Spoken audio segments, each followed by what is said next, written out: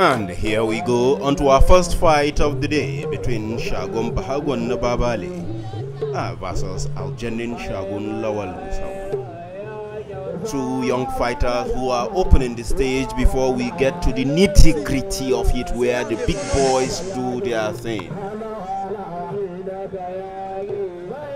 Algenin Shagun Lawal Gusau is with the darker trouser of the two and he is the more fierce fighter of the two.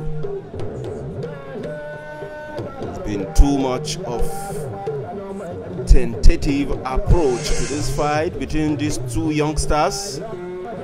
Too many blows that never get to catch a face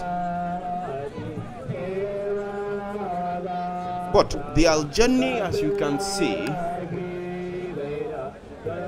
is proving to be a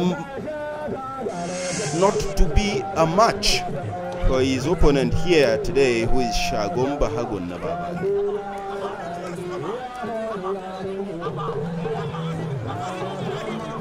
He's hunting him all around, and uh, Shago's bodies have come to rescue him from the Pumel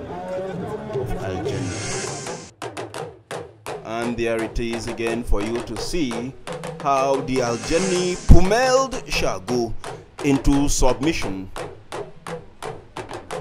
clear angle here you can see Algeni kept going in there and Shago had no response to him and finally his team ran in to save him from the heavy punches and assault of Algenin Shagun Lawlus.